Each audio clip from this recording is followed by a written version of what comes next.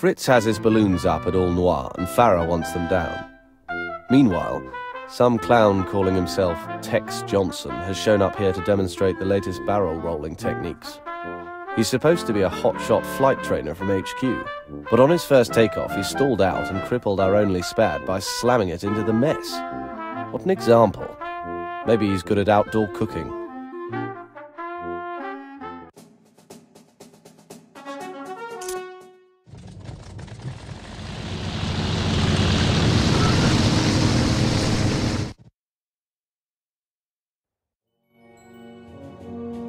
Faced with a puzzling three on three, I knew from my studies that an even challenge could be tricky.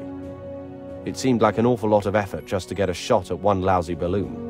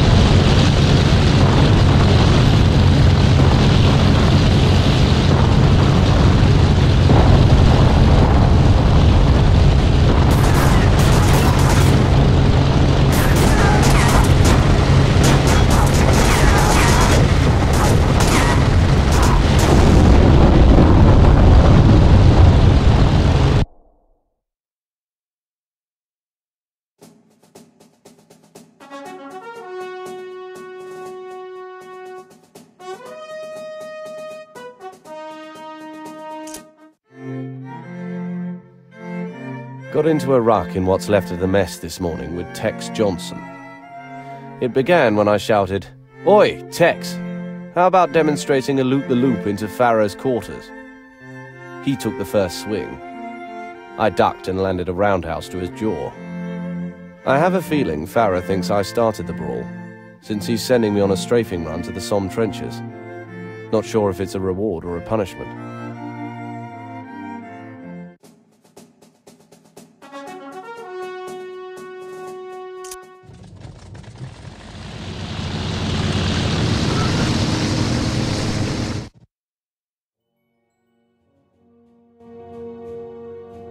The Somme trenches lay before me like rows of open graves dividing the countryside. Even in the air I was struck by the foul odour of the unburied dead. My guns would soon bring more flesh to rot.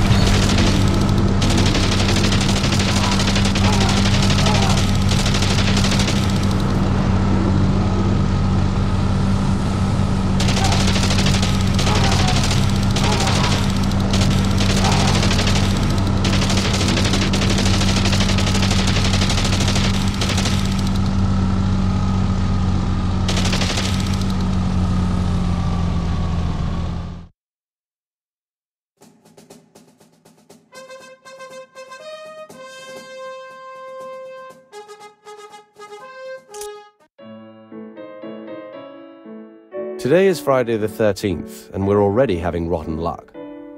This morning, Tex Johnson spun out on our main landing strip and pancaked one of our refurbished Nieuports into a barn. Everyone laughed as the chickens climbed out, clucking all over the plane's crushed wings. Tex was humiliated, and for a moment I actually felt bad for him. Four-man patrol over Lille at 0400. Don't want anyone laughing at me, so I have to keep holding my own. Being humiliated like Tex is the worst thing for a pilot. After dying, of course.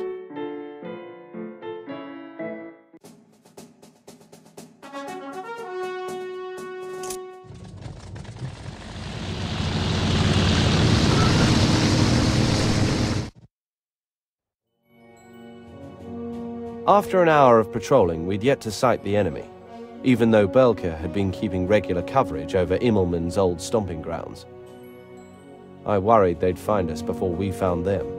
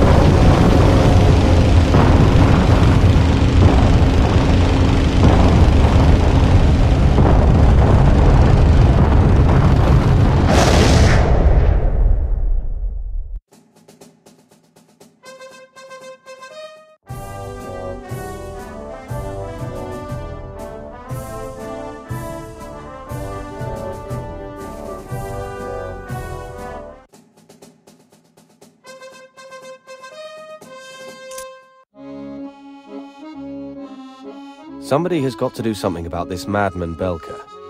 Yesterday he got his 35th kill. The pilots he's training are flying better than any we've seen. Especially the new kid he's picked as Immelmann's successor. Richthofen, I think his name is. Upstart. Tex was supposed to lead today's balloon-busting sortie, but the rest of us want to stay alive, so we're sneaking off to Hirson alone.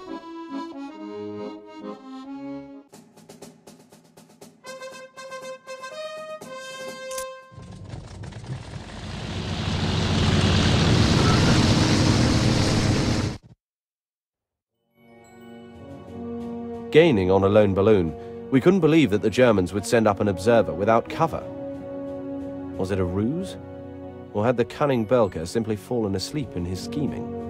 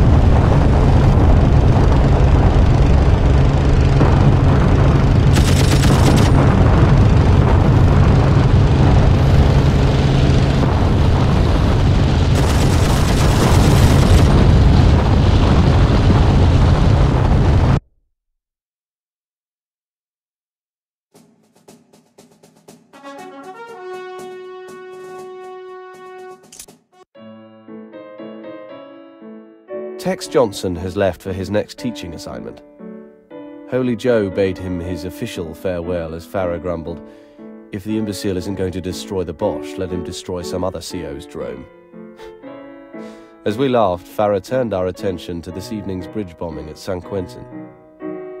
Our laughing stopped abruptly when he ordered us to be loaded up in an hour.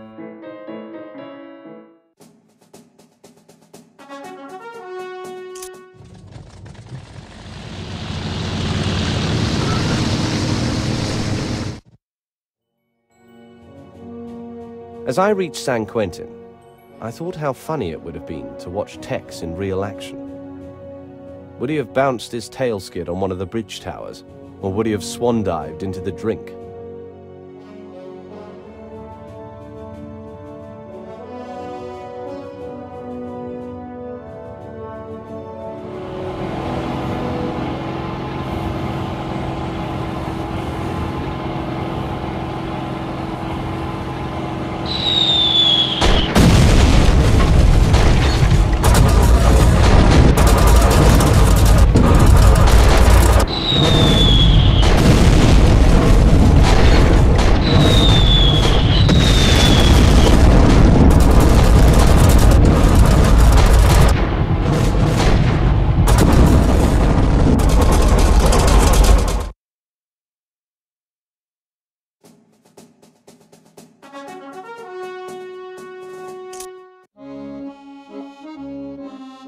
I figured out what I hate most about northern France. Short summers.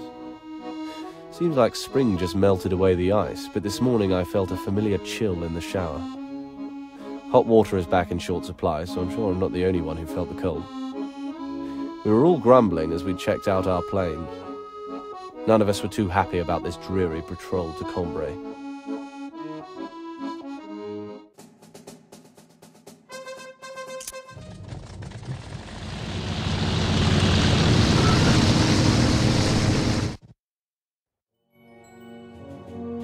With moisture freezing on my upper lip, I looked to the three flying at my side to make sure they saw what I saw. Down below us, an Albatros D2 and a Fokker E3 were rearing for a scrap.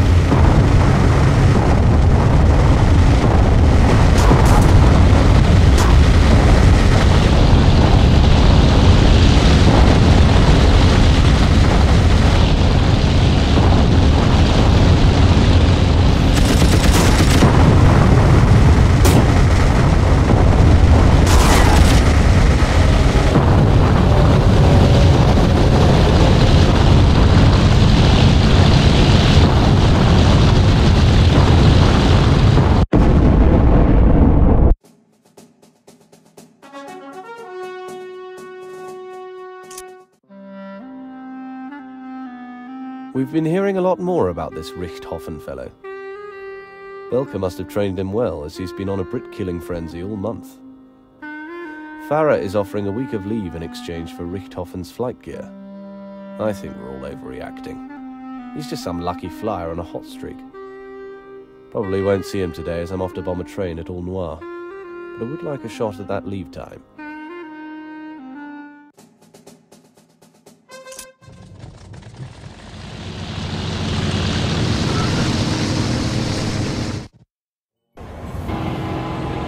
As I dove on All I saw a sign on the side of the train that read, Herr Trenchard, please give your pilots a rest. Too bad I wasn't feeling particularly tired.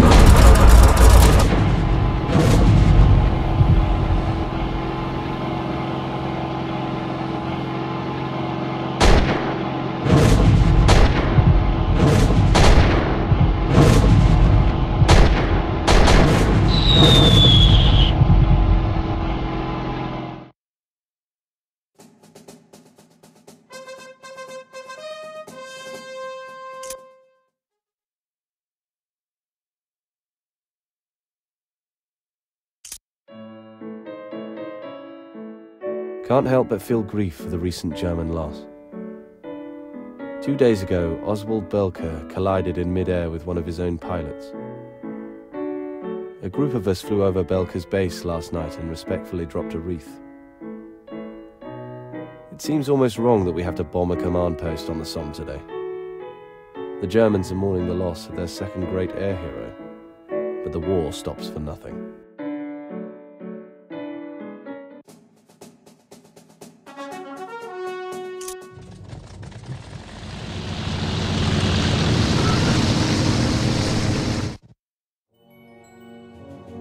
Saluting one of our own fallen, I flew quietly alone over a host of memorial services before heading back to the front. There I targeted the designated command post and held my silence as long as I could.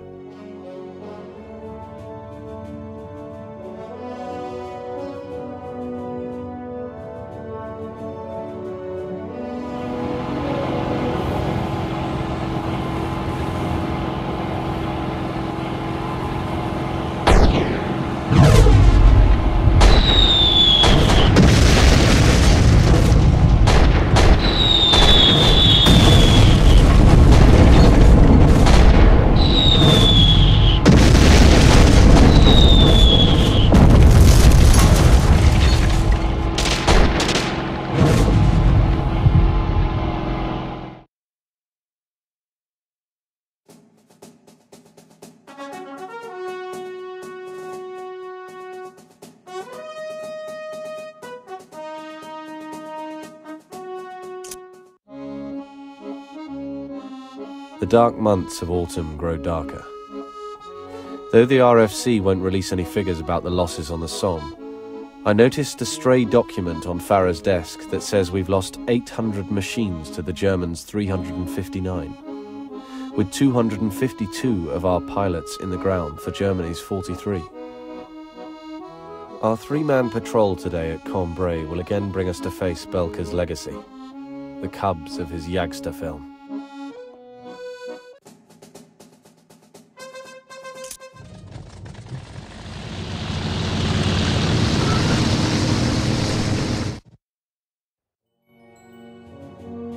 My Vickers longed for a target as we hovered over the stillness of Cambrai.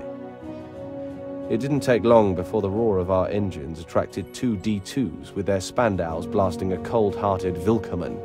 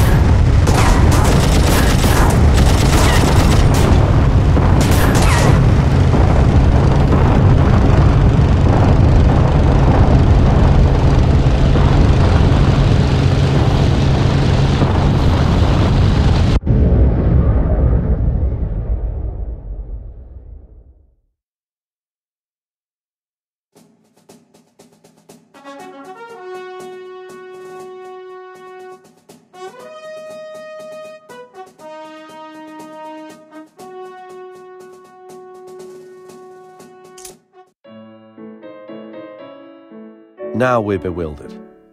Though General Trenchard calls the Somme our greatest air success of the war, our airstrikes are being cut back by wing headquarters.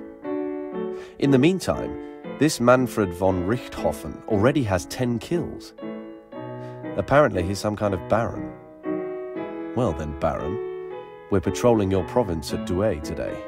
Come and get us.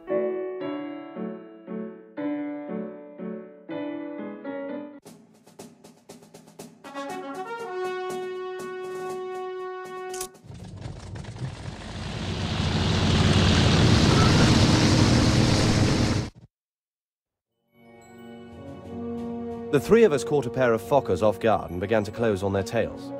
Though we had the advantage, we'd surprised them fair and square, so Farah couldn't say anything about our lack of chivalry.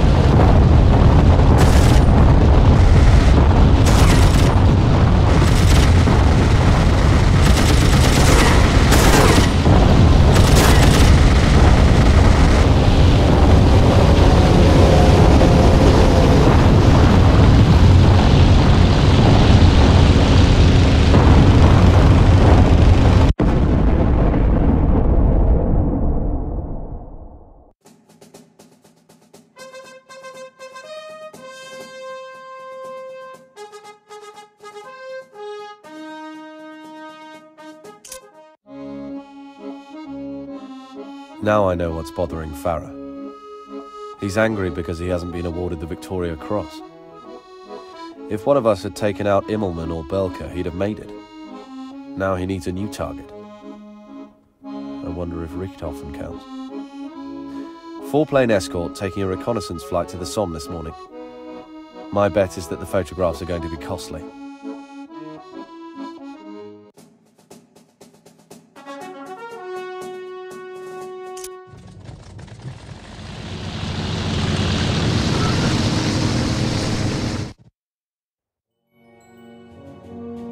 Whatever our recon plane was after, I hoped it was worth the fight ahead. Two Eindeckers and a Doppeldecker came out of the late afternoon haze with apparent orders to stop all five of us.